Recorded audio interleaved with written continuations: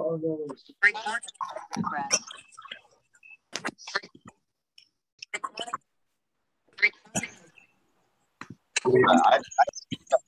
like I'm running late. I went to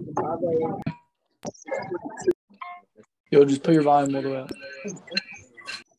Oh, into the room at like six thirty. Josh, like, the screen so all right, so I can light up.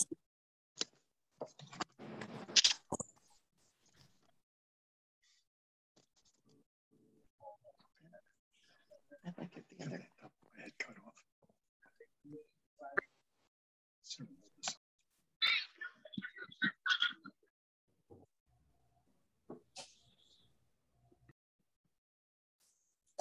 Just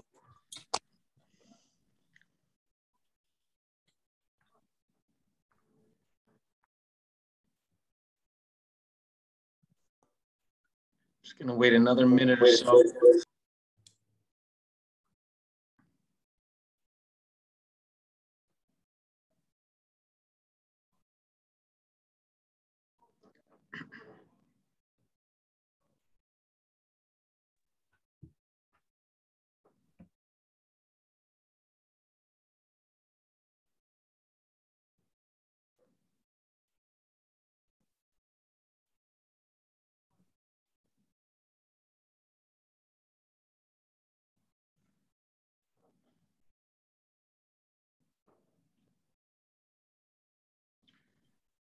Okay, I think we'll get started. Share my screen. As people come in, we'll admit them. Uh,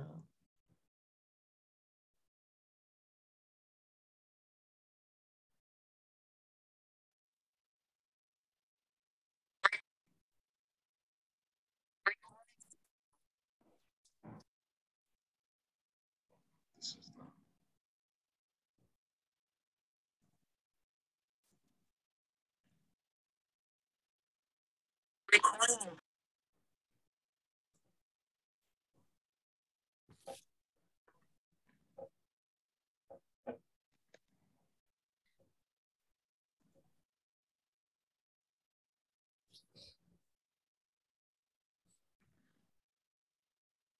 Okay, so good evening, everyone. We're honored to feature Paralympian gold medalist Nick Mayhugh tonight as our guest speaker.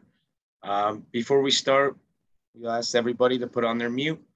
Um, and if you have any questions, uh, please use the chat to submit them um, and any comments as we go so we can keep them in one spot. Um, at this at this time, I'd like to turn it over to Dr. and Mrs. Murphy uh, to open up the session tonight. Great. Thanks a lot, Josh. Uh, greetings, everyone, and welcome uh, to Centenary Nick. Uh, we have here tonight our student athletes and coaches, uh, Professor Dave Perricone and his students from Sport Marketing and Management, and many of our esteemed alumni. Uh, well, the, uh, the Tokyo 2020 Olympics and Paralympic Games were a huge success and showed our strength and resilience during the pandemic. Uh, the Games truly demonstrated peace through sport. Nick is here tonight to share his experience with us and to help us become stronger as we all move through these challenging times. I asked my spouse, Jean, to give briefly give us a framework for the Paralympic Games since she served as Team USA's chief of mission for the 2004 Games in Athens. All right, good evening, Nick, and welcome to Centenary. And uh, Josh, if you just put that one slide up of, uh, of me of the 2004 games real quick. Uh, very good. There we go. Nick, I, am wearing my 2004 Athens jacket here tonight, and that's uh, me with the, leading the team in as chief of mission. Probably one of uh, the greatest honors uh, I've had is representing Team USA in, in the games of Athens and the Paralympic team. And my chief uh, assistant chef uh, of mission, Scott Douglas, gold medalist in tennis, wheelchair tennis. And what Scott demonstrates and what a lot of uh, athletes at Nix is uh, affiliated with, you can be born with a, some type of physical disability, or you can also get in an accident. You could be a wounded warrior. There are many ways to enter the Paralympic Games. And uh, it is phenomenal in terms of the elite uh, nature of the athletes and the sport competitions, uh, the highest standards of excellence are achieved in the Paralympics. Uh, this year in, in uh, Tokyo, Team USA brought 234 athletes. There were 4,400 other athletes from the around the world who competed, 22 different sports. It was an unprecedented 1,200 hours of global viewing by NBC uh, Universal Broadcasts, which makes you, Nick Mayhugh, truly a rock star. And we are going to really enjoy listening to you and, and watching all your accomplishments. And uh, uh, Josh, if you want to show that one minute video, you all see uh, me and, in our delegation in 2004. We'll show you what Nick and tr try to find Nick in the U Team USA delegation marching into the Oh, Tokyo remember. Stadium. Oh, there you go. And now the moment United perhaps many States of you of have been waiting for. Team USA.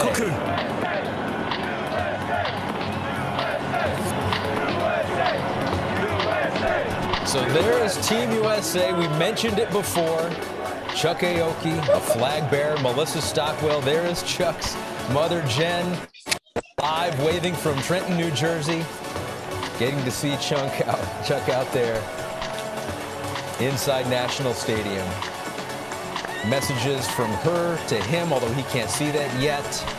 Messages from the athletes to the loved ones back home right now that are watching from afar.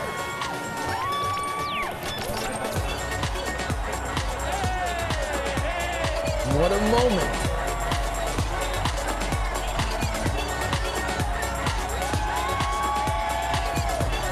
There are so many names and faces and, and stars and potential stars that may have emerged over the last year here. Uh, Ezra Frech, who we saw earlier, Hunter Woodhall, who's also a TikTok star, Tatiana McFadden, 23 Paralympic medals, uh, 17 Paralympic medals, excuse me, for Tatiana McFadden, 23 for. Jess Long.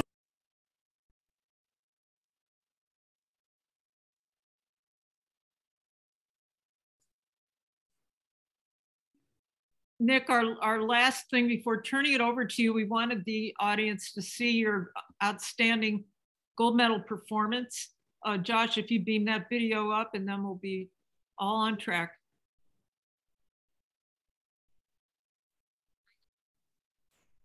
Here we go. Nice video to start now. He seems so collected, so composed on this stage. And Chris, it's pretty impressive when you think about the fact that this is the first major event he has run at 18 months into his track and field career. It's the first track event, but he also Oh, scored 34 goals for the for the seven-a-side soccer team. This guy is used to being the focal point, and he looks purposeful.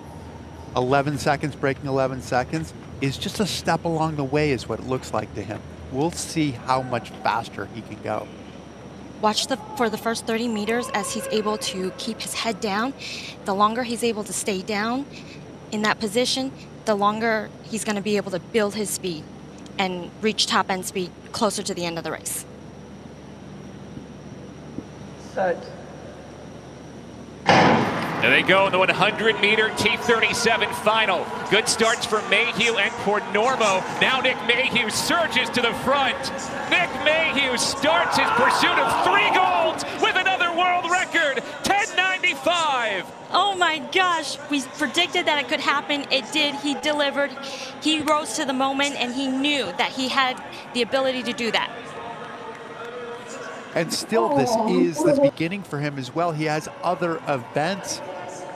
Absolutely spectacular. This he's just scratching the surface. And he knows what he's just accomplished. All that hard work has paid off. So it's the first gold medal of a possible trifecta for Nick Mayhugh. 11 second times today. Well, the new world record holder and gold medalist is with Lewis. All right, and the first thing I heard from Nick was I told you, and you did. You told us when you set the first world record this morning. How did you come back and do it again even better? Just believing in myself. You know, my coach said, put on your headphones, knock out all the noise, come back and do it again. That's exactly what I did. Take us through the race from the start as you made your way down the track, building that speed.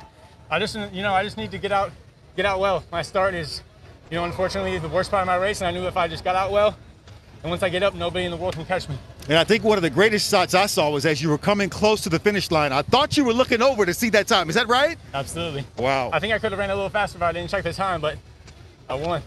Just explain to everybody how you were able to accomplish this 18 months into your track and field career from soccer. Just, just amazing. Anybody watching this, believe in yourself. So many people told me I would not be here today.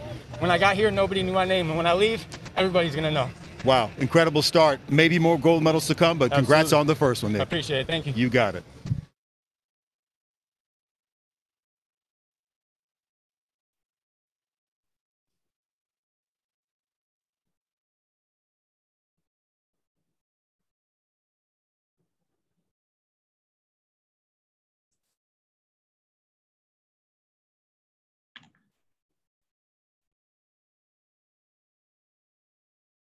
Okay. Um, Nick, um, this is where we'll we'll turn it over to you. Um, and we'll have our, our students, Matthias and Megan, um, ask you questions uh, when you're when you're done uh, speaking to the group. All right. Well, uh, hello everybody. My name is uh, is Nick Mayhugh. Thank you for having me. You know, this was a uh, no-brainer opportunity. You know, to come on and speak to you know such an incredible group like like you all. You know, it's it's an honor to be here. So thank you.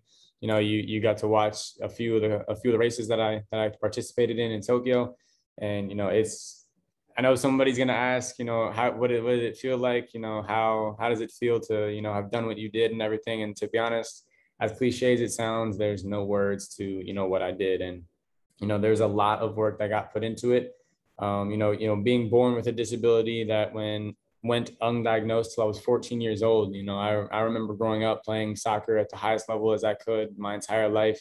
You know, being told that I wasn't good enough, being told that you know my left my left foot wasn't good enough and I, if i couldn't play with two feet then i couldn't go pro and you know all those things coaches and teammates telling me that i couldn't do what i had set out to do for myself and you know i, I always believed i have it tattooed on my leg on my right leg i have the word believe tattooed there. And you know I, I always believed that i could do it you know up until i was 14 years old. I was with the dc united academy um, soccer program at the time. I was playing with them for almost two and a half years almost three years.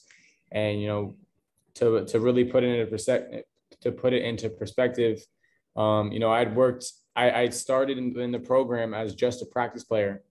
So I was traveling 45 minutes, four times a week um, to, to play in a, an hour and a half practice and just practice and not even get to travel to games or anything. And I, you know, I worked my butt off month after month to really prove myself that I could. And I knew that, you know, there's nobody that was going to step on that field that had a better work ethic than I did. And, you know, with or without my left side, you know, no matter how affected my left side was, I knew that, you know, if I put in the work that there was nobody next to me that would, you know, be able to outwork and, you know, outperform me. And I was given an opportunity to uh, start in two games. My coach pulled me aside on Friday's practice before we traveled on Saturday and said up to New York Red Bulls and said, you know, we're going to play two games up in New York. You have two opportunities to prove yourself and we'll have a conversation Monday.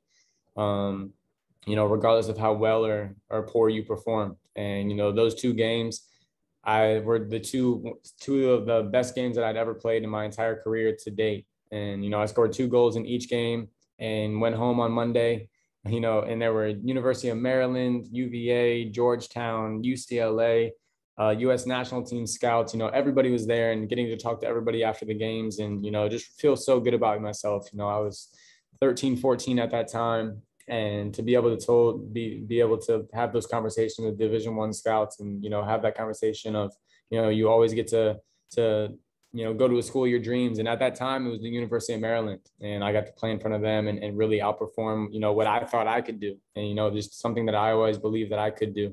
And you know i played really well. They told me they were going to take care of me. And um, so that was that monday that my coach told me that i won the starting spot. You know i i, I earned it. And that was that Monday in 2010, November 13th. I'll never forget it. And three days later, um, that Thursday morning, I woke up and had a grand mal seizure and lost everything. I went from cloud nine to rock bottom in a matter of four days. And the neurologist um, walked into the medical room and I remember laying there on on the hospital bed and her coming in and putting my MRI up on the wall and you could see the big dead spot. If any of you have seen my Instagram or seen any of my merchandise that I have, you see my MRI um, and the dead spot on the right side of my brain that um, affects the left side of my body. And she looked me dead in the eye and told me that I would never be able to play soccer again. And, you know, my entire world was flipped upside down. So, you know, to to you know go home Monday night and tell my mom that you know I would be able to take care of her and you know I was going to go pro in soccer and do all these things, and then that Thursday to be you know told that I would never be play be able to play soccer again. You know, I can't I can't really replicate those feelings that I felt at 14. You know, my entire world was upside down and I felt like I lost everything. And, you know, I could have given up. It was the easiest thing to do in the world to give up at that time. But I knew that that's not what I had planned for myself. I knew that that's not what you know, I was about, and I knew that I could, you know, I just set my mind to it. I could get back out on the pitch and um and, and really try to pursue this as a career, and that's exactly what I did. So I worked tirelessly, did everything I could, as corny and as cliche as it sounds. Uh, you know, I just put in the work and I just practiced every single day.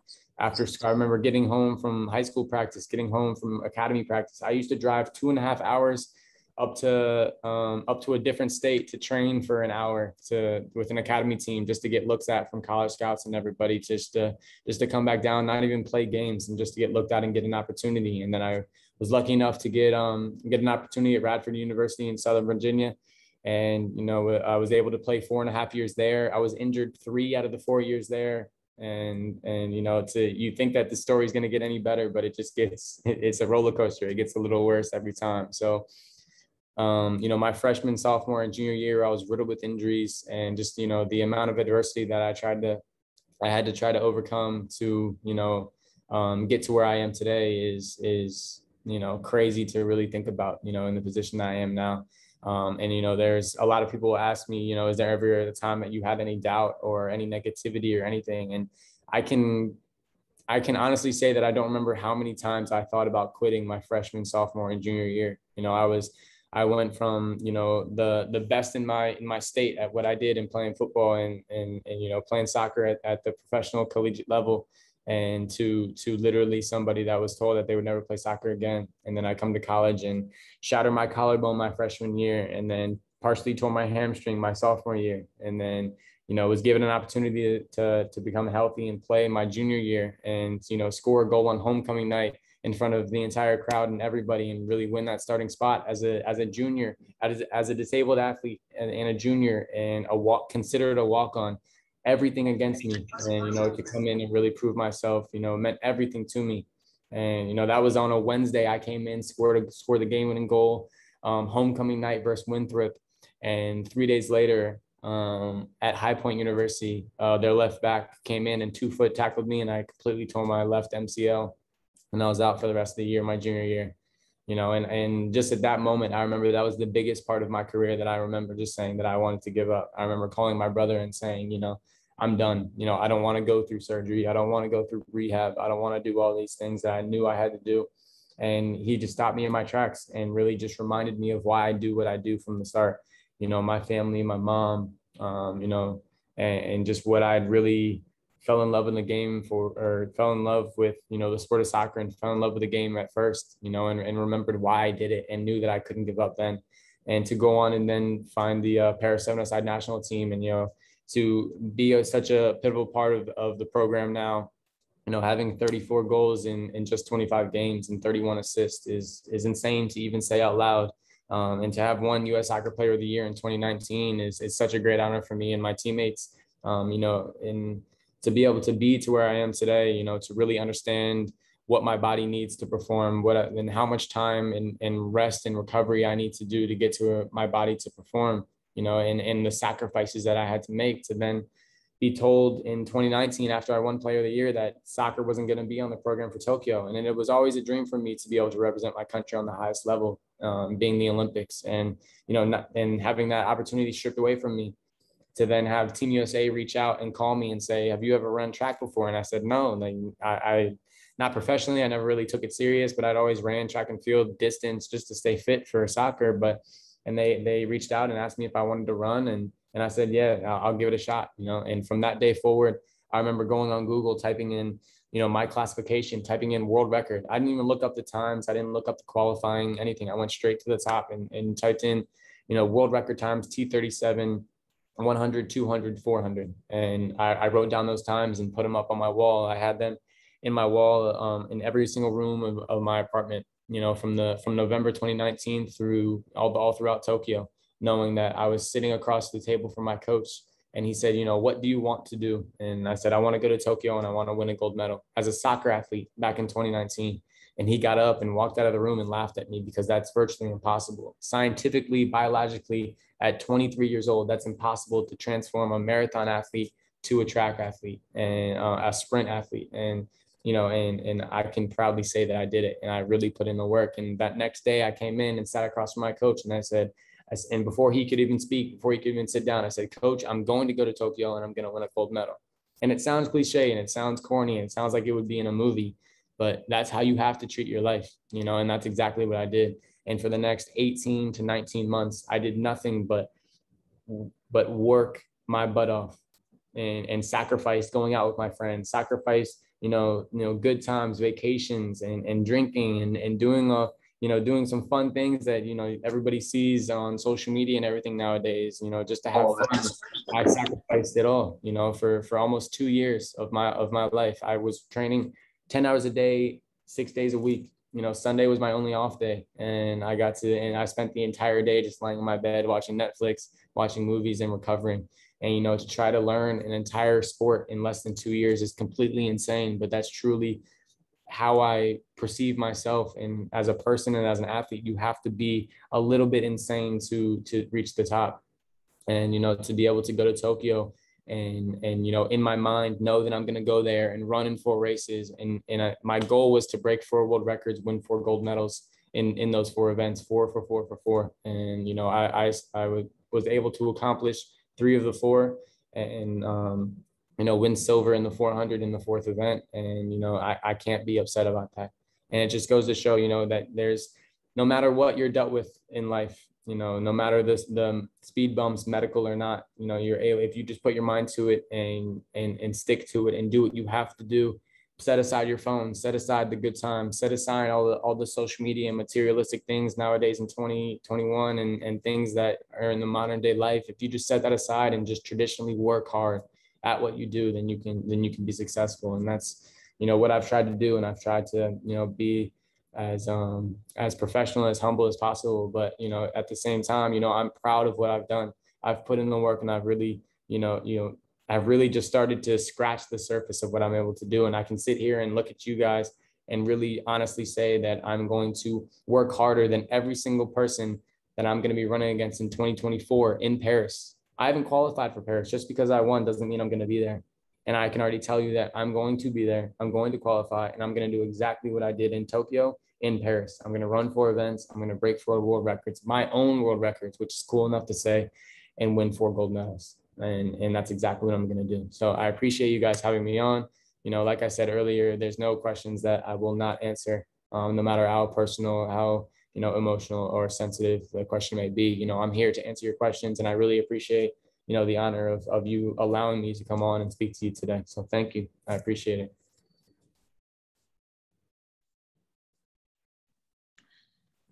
Thank you. I think that's awesome, man. Um, so we'll have a couple questions here from uh, Matthias and, and Megan. Um, you know, whichever one of you guys wants to go first. Um, just to see what Nick can touch upon a little bit more. Mm-hmm. Sure. Thank you, Nick, for joining us tonight. Really appreciate you being here. Um, I have a question for you. So I actually run cross country as well. What motivates you to run the most? Because I know it's hard for me in the morning to get up. See, that's that's that's the craziest thing is that you know there were more days than not that I did not want to get up and train. You know, and and I was flexible enough to be able to you know, have the liberty of being able to kind of choose when I wanted to train. Um, you know, there were there were a lot of days that I work better later in the day. I work better, you know, uh, that I would get to I get my sleep, I wake up, I have, you know, the first morning of my day to be able to just relax, get ready for the rest of the day, and then, you know, um, get a I'm able to train and leading up to Tokyo, because the time zones were so different, I actually trained later in the day because I knew I was going to compete in the morning. Um, because they're 13 hours ahead of Eastern time. So it was kind of structured like that, that I was had the liberty of being able to train in the evening just because it worked with what was going on in Tokyo. But to answer your question, it's hard. Um, it's not natural. It's not easy, but you just have to remind yourself and, and know, you know, you should, I mean, what I used to do when I was in college, when I would have to get up for 6 a.m. workouts, what I would do is set my phone because nowadays that's the first thing you check up, you check when you, when you wake up. And before I would go to bed, I would set my phone and set my alarm on the loudest ringer, on the loudest um, volume, and I would put it in the opposite side of my room. So I would have to get up out of bed and go get my phone to, to be able to turn it off. That's something that worked for me personally. Um, I used to have my phone and I used to have my laptop and I, I downloaded a, a, an alarm app that literally I had to type in a code in my alarm to turn it off on my laptop. And then I was able to do something on my phone. And those are just a little, you know, tricks that I, I did for myself, but just, just strip it down to the basics of why you do what you do. You know, it, it's not natural. You're going to wake up. There's going to be days where you don't want to do it, but you just have to remember why you started in the first place, why you fell in love with the sport and, you know, what motivates you to do it and never forget that. And, you know, just, just do it. You just have to get up and just do it. And as soon as you get out of bed, that's the hardest part because your bed's so comfy. You're so warm. Your comfort is so, it's so nice. Uh, I can't wait to go to sleep tonight. I'm so excited. But, um, you know it's hard and it's not natural but you, you have to do it and you know that there's an if you, as long as you know that you're getting out of bed and there's another athlete in the world that is choosing to sleep in you're getting more out of your day than that than that person so just got to do it thank you Matthias, do you have a question yeah um to, to kind of talk about um, tokyo how was it living in the athletes village in tokyo it was it was interesting you know the the cardboard beds were real um, they were literally cardboard. Um, they were very uncomfortable. Um, I was lucky enough. I actually made a deal. All the all the staff and the, the medical staff and the coaches all got Tempur-Pedic Nectar beds. Nobody's talking about that. Everyone's talking about the the cardboard beds, the uncomfortable beds the athletes had to sleep on. Nobody's talking about the comfy, big, full, and queen size beds that the that the staff was able to sleep on. And I actually made a deal with one of the uh, with one of the U.S. staff that had to leave early, go back to their to their full time job back in the states, and I said, you know, if I win the 100 and I break the world record, can I get your your bed? And they said, yeah. So I was lucky enough to be able to sleep on sleep on one of those beds, you know, a majority of the time. But those cardboard beds were, were something real. They were very uncomfortable, made out of cardboard. The mattress is literally shavings of plastic. I have pictures, you know, it's it's crazy. Um, but it was amazing. You know, it's just a melting pot of of athletes, you know, across the world, obviously. And to be able to, you know, um, see how those athletes are and their culture, you know, to be able to meet them and, um, you know, speak to them and, and watch them work. And you have to remember, like, I'm, I'm still new to the sport of track and field. So I would go to the practice track and just sit there and just watch these these guys work you know watch. And i'm i'm well versed in in the soccer world you know i, I can go to a football or a football pitch and you know sit there and know what somebody's doing right and what somebody's doing wrong and know what i'm going to do um, when i step on the pitch and you know um, that's that's second nature to me. But i walk onto a track and that's not normal for me you know and, and it's weird to say that you know the accolades that i have is cool but you know I, I still go to a track and just sit and watch people train see what they do, see when they warm up, see how they, you know, how they cool down and see what they do in their workouts to get better. And especially, you know, certain parts of my races and I'm not accept, I'm not good at, but that's what I spend a majority of my time. I, I stayed after and stayed at, at the track for hours, just watching other guys work that I was, that I would be able to compete against, knowing that it's just an individual um, race. Like it's just you and the clock, but that person running next to you, I would watch him run. And I knew that if he did this in a race that I could see him in my peripheral, that I would win and you know just seeing certain things like that to make them tick and you know just to see how nervous everybody was it's just to be able to spend that time around you know that amount of incredible athletes you have to remember you know you're a part i was lucky enough to be a part of of you know an olympics that you know hopefully will never happen again um, in in Tokyo. You know the COVID situation and everything. Hopefully, you know we'll never have to experience that again. You know, um, health willing. But you know, this is just an incredible experience to be able to say, you know, on one hand, I was able to go into Olympics, which people work for their entire life and are able, never able to achieve. And then on the other, to be able to say, you know, I was a part of the Tokyo 2020 COVID pandemic Olympics, and you know, it's it's it's pretty cool. But you know, it's it hasn't really hit me yet. You know, it hasn't hit me that I actually went and hasn't hit me that I'm back already. I did what I did, but I'm waiting for it. So I'm excited. That's awesome. No, thank you. Um, so I have another question. What do you so you you broke multiple world records. Where do you see yourself taking next? Like next five, ten years? Where what do you think? That is a that is a long that is a long, long answer. Um, you know, I, I have a lot of things. The way that I work, the way that I I become very hyper focused in what I'm doing. You know, with soccer, I definitely, you know, I, I, wanted when I was in college, I wanted to, you know, become a starter, score, score, and win a couple championships. And that's exactly what I did. And you know, to be able to achieve all those things, I, I did those things. And then I the way that I work, the way that my mind works is just I'm never satisfied with and with what I'm doing. You know, I, I achieve one thing and it's always just what's next, you know, and whatever it may be and you know i was able to then join the paris seven side national team and be able to say you know i wanted to i wanted to you know perform as best i could become number one in the world as a team and you know win player of the year and do all these things. And you know i we're not we're ranked fourth in the world right now so i'm still on track to to do that. So that's definitely something i'm passionate about is, is helping the team become number one in the world. And it's definitely a tough task. It's going to be a team effort. It's not like track and field where you can just run out there and run really fast and win and then boom you're number one. Cool you know it's but in the world of track and field i want to go back to tokyo i want to go back to paris um, in the next olympics in 2024 and do it all over again you know i i came second in the 400 and you know that really that really uh for lack of a better word really pisses me off because i really want to win that so um, my doctor definitely doesn't want me training for that because uh, cerebral palsy is a neurological disorder. The training for the 400 is super, super tough.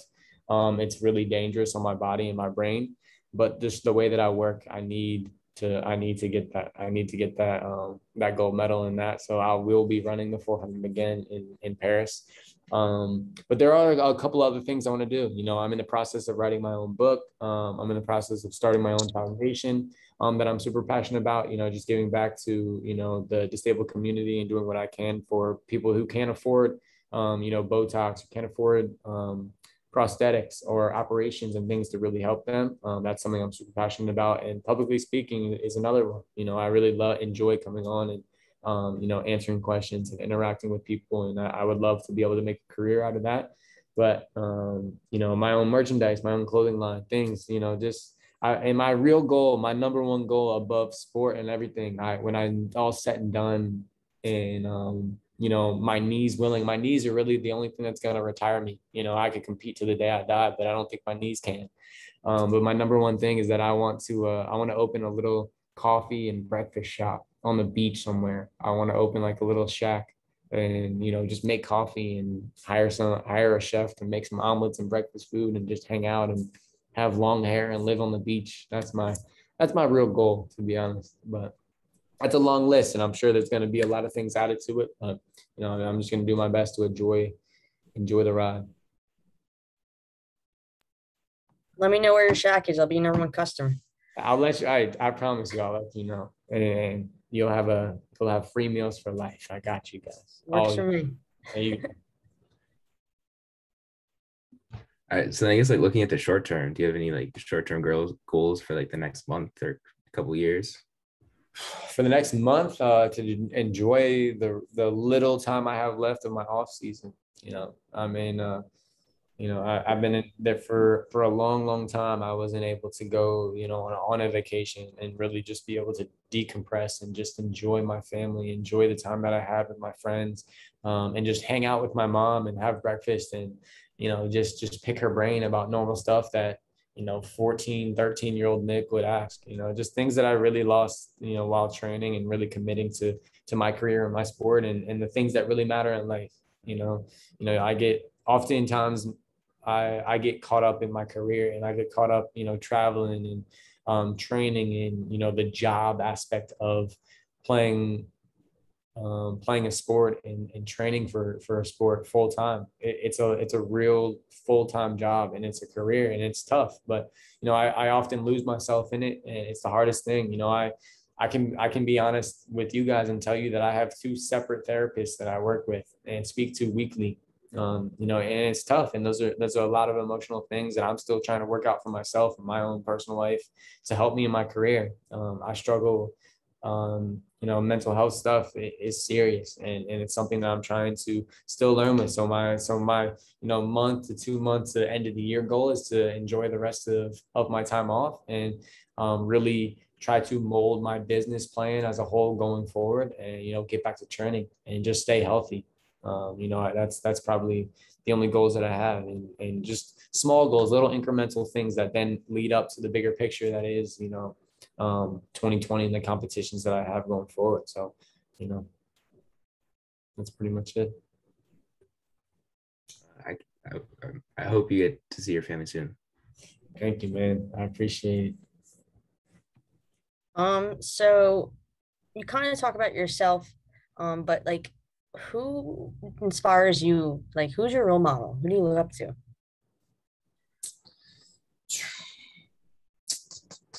Um, you know, it's I don't really think that I have a set. I don't think that I have a set role model. Um, you know, somebody that a single person that I really look up to or something. It's just people, numerous people that I lean on um, for guidance and advice and just motivation. And that's truly just my family. You know, my brother um, is five and a half years older than me, has done more for me than I'll ever be able to repay him. My mom, my dad, and the things that they are, my, my family really are, are all my role models and people and the, and the true motivation of I do what I do. You know, my mom, I'm a mama's boy through and through. I, I am, you know, I'm a little kid, mama's boy, you know, and and I have no problem admitting that to the day I die. You know, she's the sole reason why I do what I do to be able to, you know, be in the position to, you know, uh, to put her in a position to never have to work again. That's my main focus and the reason why I do what I do. You know, and and my brother to be able to have him and um to to you know be there and be by my side every step of the way and really push me and, and coach me and really understand the work that I put into this. Um, and, you know, to be there and and to you know be be the man he is and be um, you know a, a true role model and and coach and best friend and you know everything that I need him to be, just a just a brother. Um, those are probably my my role models. Um, you know, but I look up a lot, I look up to a lot of professional athletes, you know, that have become my friends that we've gravitated towards each other to really push each other to be successful. You know, I'm I'm you know, two of my best friends are Christian Pulisic and, and Weston McKennie, you know, who are two of the best at what they do in America and, you know, are great or, you know, have the, have the opportunity to play overseas and, you know, the conversations that I have with them and just the advice that they give me and the advice that I give them, you know, I'm older than them, but I still look at them as, you know, for advice to, to deal with certain things that I, you know, that I struggle with and they, and they do the same in me. Um, we really just feed off each other and, um, and probably the biggest one in the sport of track and field was Usain Bolt. Um, you know, I, I, literally from the day I started training for track and field, I would YouTube videos of Usain Bolt um, and, and, just watch him run and really just go frame by frame and watch him like watch him run and watch him race and really just try to uh, replicate what he was doing on the track. Um, and we're obviously, you know, two different body types, two different genetic. Um, you know, he's a genetic freak and I'm not. So um, I'm kind of at a disadvantage genetically, but um, you know, I, I, tried to replicate him and I really looked up to him. So, you know, in, in, you know, in Tokyo, I was able to receive a video from him. He actually watched me race and told, and I actually was able to have a conversation with him. So that was surreal um, to, to, you know, be in that position. But, you know, it, it's not, there's not really a single person. It's just kind of a group of people that I trust, you know, that I hold close to me. And, um, people that I, I try to reach out to to gain a little bit of guidance um, in, in whatever it is that I'm trying to do. That's amazing. Thank you for sharing. Do we have time for more questions or? We can, if you have another couple questions, Matisse, you could ask. Okay. Um, so like you mentioned Christian Pulisic and Weston McKennie. Um, like what do you think draws you guys together? Our mentality. Uh, that's that. Uh, that's that's definitely the biggest thing. You know, the the the willingness to sacrifice. You know, something to to then gain something else. That you know that that you that is the long term play.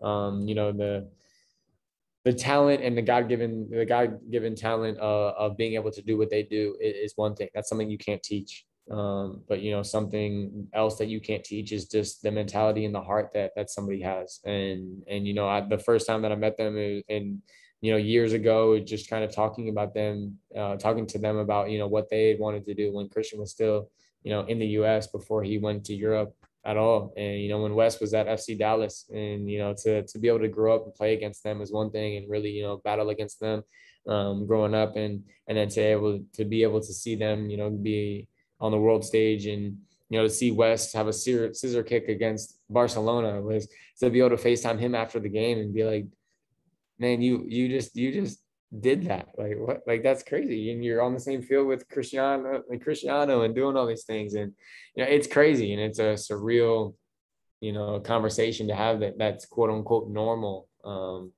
um, for somebody like that. But to then to you know see Christian to to do what he's doing at Chelsea and hopefully he's able to get healthy and stay healthy. Um, but, you know, and to win a Champions League is insane, you know. And you know, it was a point in my life where I would I would be, you know, um, playing FIFA, you know, with with Wes and Christian, that, like playing with them as players, and now to consider them two of my best two of my best friends, you know, to really lean on for advice, and they do the same to me. You know, it's it's a crazy thing, but um, you know, it's just the mentality that we have to to want to be the best at what we do, and no matter what it is. You know, um, one of the coolest things about Christian is that he's a really good chess player, and and I and I, it, it's the most frustrating thing because I try so hard, and I will literally sit on Facetime for like six hours playing chess, and he just beats me and beats me and beats me, just trying, and I'm just like I'm trying to learn, I'm trying to learn, but it's just he just studies it and just the way his brain works and no matter what he's doing it, it's insane. He's he's a he's a great chess player but you know just little things like that and just the gravity that we have towards each other to become the best at what, whatever it is and you know just to try to try to push each other in a, in a respectful and loving way super funny because our coach actually for this soccer team just told us that we need to be playing more chess seriously it's, it, yeah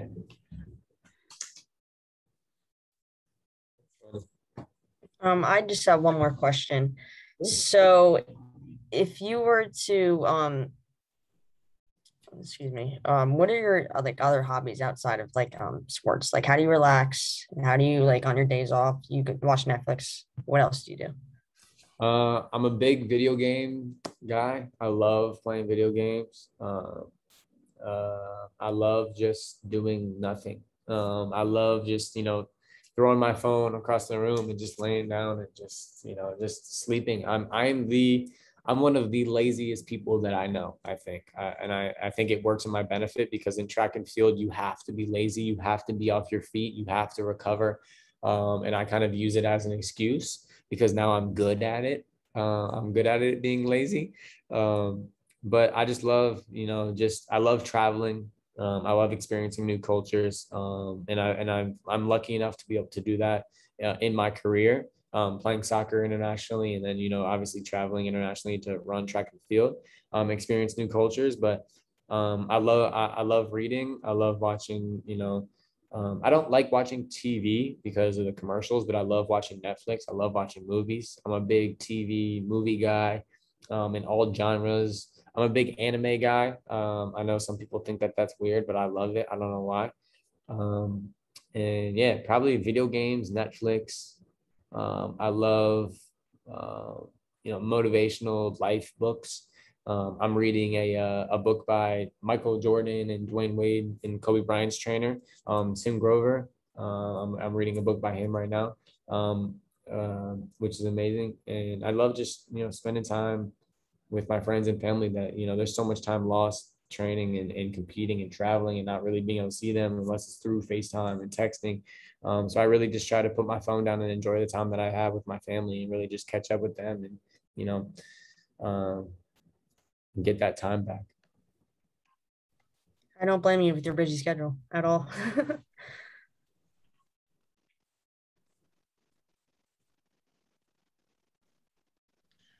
All right, Nick. Um, you got a, a lot out of you there. We really appreciate that. Thank you. Um, so we'll turn it back over to Dr. Murphy for some some closing remarks. And um, again, we really appreciate you opening up and giving us a little behind the scenes. And um, it's really awesome. Really awesome. I appreciate it. It's, you don't have to thank me. Thank you for having me. I appreciate it. Well, Nick, this has been great. We really do appreciate it. I think that uh, a lot, got a lot of folks on the on the call tonight, and uh, we ta- we really do appreciate. Uh, we know how valuable your time is, and appreciate you taking the time out to be with us. And you know, as the president of the university, I don't have the authority to award Olympic uh, gold medals, uh, but I do have the authority to award my presidential coin. Uh, when I see excellence, uh, I'm allowed to do that. No requirements. There's no there's no standard record book or anything like that. Uh, but when I see excellence, I'm allowed to uh, award my coin. And I want to award this coin to you uh, tonight for being with us and sharing your thoughts. Uh, you see on the one side, it has the uh, seal of uh, the university. And on the other side, it says presented by the president for excellence. And so we'll put that in the packet of goodies we're sending to you. and please take that. And when you when you when you feel it in your pocket or when you see it on your wall or your trophy case. Uh, just remember this night that you shared with us and we how, how grateful we are that you did that. Thank you so much. That means a lot. Truly, thank you.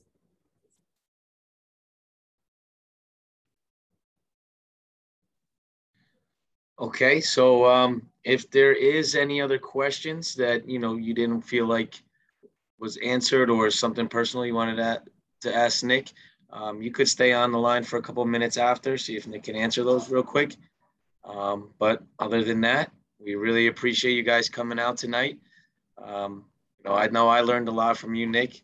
Um, some similar things you said that, that I once went through um, with some injuries and things, and how you got to stay motivated. And I appreciate you coming in and speaking to all the students and the athletes here. It's really, really good job. Thank you. I appreciate that. Thank you so much. No problem at all. Thank you. Yeah, thanks. Thanks, Nick. Appreciate it. No one asked. No one asked any Uh, funny one. questions or anything. Any anything outside of sport or anything. I, I'm used to asking. You know, what's my favorite ice cream flavor or, you know, something like that. I'll ask the question. What's your favorite um, Netflix series? Oh, okay. That's a good one. So I think of all time, Netflix specifically, my favorite TV show is I think Game of Thrones. Game of Thrones is amazing, aside from the last season because we don't speak about it because it was so bad. Um, but on Netflix, um, I'm currently watching. Oh, heads uh, up, heads up. Oh, um, Great, currently he's watching- always working. Hey, that's good. That's good. Um, he's a head on a swivel. Um, uh, Blacklist. I'm finishing up. I obviously want to watch you. Um, uh, I'm a big chick flick guy too. I, I watch a lot of chick flicks, so there's probably not a single chick flick that you could probably name, movie or TV show that I haven't seen. So, you know, I'm kind of I'm all over the place, but I love Netflix. There's too much time on the road to watch all that. And I have one more question. I assume that you probably eat healthy, but what's your favorite like fast food, like Chick Fil A, Chipotle? Like, what's your go-to? if anybody follows me on social media, they know what my favorite like snack or anything is. And if there's anybody in here that knows, say it right now. And I'll give you like three seconds to say it because there's one thing above anything else that I'm just obsessed with, and it's my thing. And it's Oreos. Oreos are my main are my main thing. Uh, that's the one thing I remember talking to my nutrition, my nutritionist, and she was like, "All right, well, we have to cut out this, this, and this." And I was like, "The only thing you can't touch are new Oreos. I'm gonna eat a whole sleeve while I'm training in Tokyo. I don't care. I'm gonna do it." Um, but I love, I love Chick Fil A. Um, I don't really like like super like like McDonald's. I don't really McDonald's, Burger King, Taco Bell, anything like that. That's like um that like super super fast food. I don't really consider Chick Fil A as fast food. Um, but I love Chick Fil A, um, uh, Chipotle, um, in any of the the fried chicken places. Oh, so good. Anything anything like that. Oh, and now I'm hungry. Hey, Nick, Gene Murphy here. Uh, Lady Gaga sponsors her own brand uh, of the Oreos, and she's always looking for a co uh, sponsor for the commercials. So you might want to keep that in mind as your next gig. I love Lady Gaga too. Nick, my uh my daughter's best friend's father runs the marketing for Oreos Global. Josh, if you give him my cell phone number, I'll pass it on over to you. I'm, Oh, I'm about to I'm about to call him right now. Oh, please, that would be amazing. I'm gonna call him right now. Oh, I, I eat Oreos breakfast, lunch, and dinner. You might not be making it to those next Olympics. Uh, I don't care. I Oreos. will, I will. I don't care. I will. No matter what, I will. I will open a pack of Oreos on the start line and put them down and run out and race and still win gold medal. It does not matter. Those will. I will look into a camera and tell people across the world that Oreos are the reason why I won gold. I don't care. That might be the secret ingredient.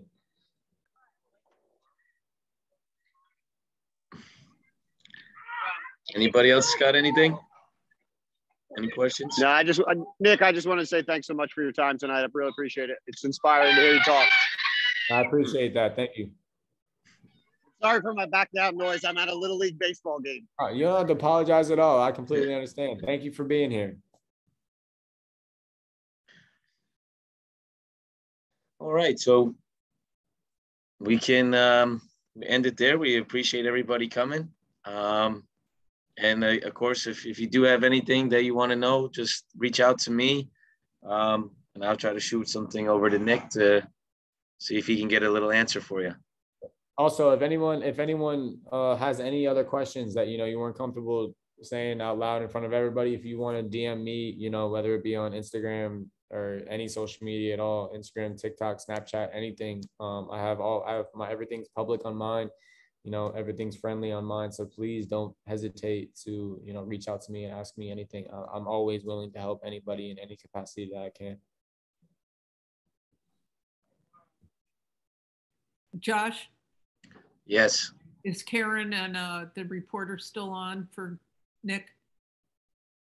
Yes, I'm here, Jean. Oh, are we going to turn over to you, Karen? With Sure. Yeah, we just have to just wait to get everybody else off. Bye. Thank you.